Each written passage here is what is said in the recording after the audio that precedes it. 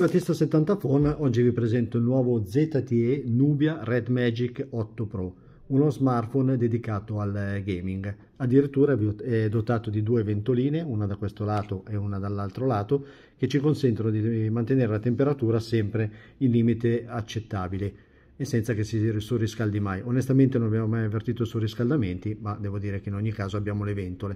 Dotato di Snapdragon 8 di seconda generazione, con formazione 12 256 GB, 649 euro. Lo potete trovare sul sito ufficiale. Mm, era esaurito, ma penso che stiano riassortendo, perlomeno lo spero per voi.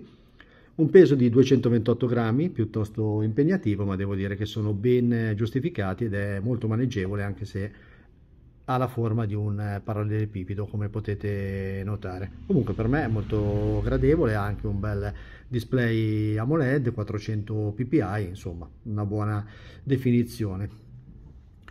La cam non è un granché sinceramente, è buono solo il sensore principale da 50 megapixel, la ultra wide tende a sgranare, la macro è poco precisa. Per quanto riguarda la cam eh, frontale abbiamo una 32 megapixel che è situata sotto il eh, display.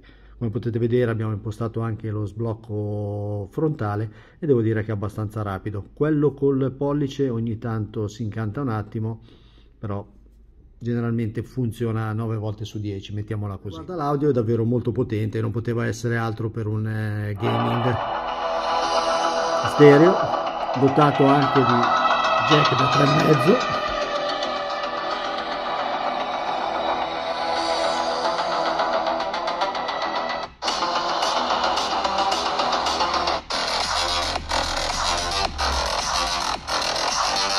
potete sentire è davvero molto potente. Andiamo a sentirlo in ambito telefonico.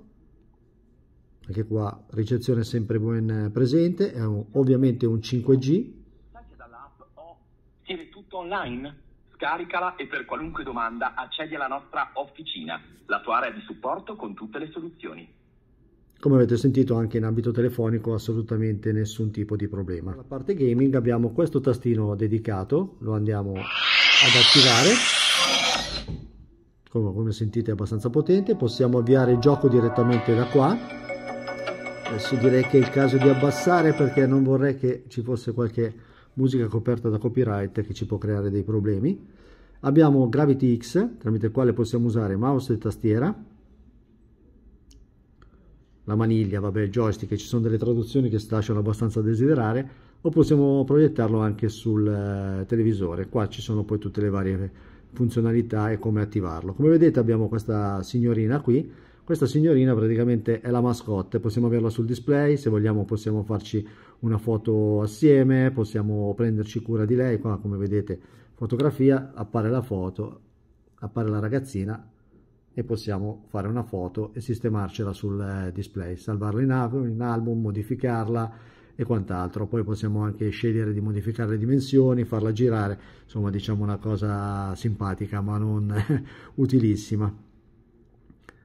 Questa scusate ancora la foto, possiamo fare lo streaming sul cellulare oppure sul PC, possiamo prenderci cura di lei, qui ci sono tutte le varie cose che possiamo fare, vabbè è una cosa simpatica ma come, come dicevo non indispensabile indispensabile più che altro è la parte qui del gaming tramite il quale potete sfruttare tutte le potenze. Andiamo ora a avviare il, il gioco. Adesso potrete notare che il caricamento è veramente molto veloce e le prestazioni di, di gioco sono eccezionali. Adesso magari facciamo una partita velocissima, andiamo a prendere questo. Facciamo una garettina, prendiamo questa macchina come dicevo prestazioni di gioco davvero ottime. Scorre tutto in maniera fluida mai nessun rallentamento. E magari dopo un po' che giocate vi sentirete le ventole che partono. Però sono molto discrete non fanno casino sono...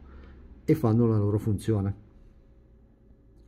Oggi sto facendo un esperimento vedete che sto provando a fare un video in una postazione diversa. Siamo in negozio l'ho già rifatto sei volte perché non c'era nessuno casualmente quando inizio a fare qualcosa entra qualcuno. Vabbè comunque siamo in un negozio è normale che sia così. Come vedete massima scorrevolezza. Adesso questo qua ci doveva rompere le scatole proprio in questo momento. Ci siamo schiantati. Comunque poi per uscire dalla modalità basta spostare il tastino e torniamo nella modalità. Usare il display. Rialziamo il volume in questo caso. Come vedete è un display veramente bellissimo. Poi è bello perché ha filo proprio. Andiamo avanti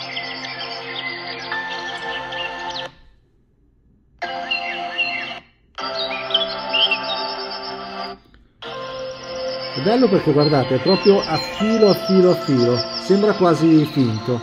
A me ha colpito ed è piaciuto veramente tanto tanto.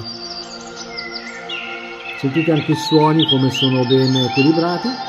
Adesso possiamo uscire.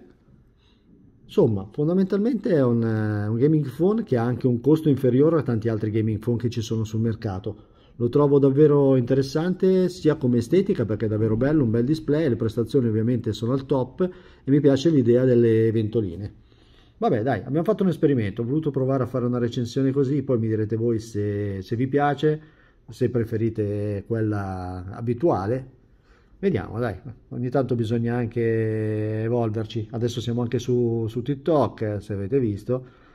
Abbiamo un'età, ma cerchiamo di rimanere al passo coi tempi, rimanere tra virgolette giovani, se così si vuol dire. Con questo concluso, un saluto da Loris, alias Battista 70 per Battista 70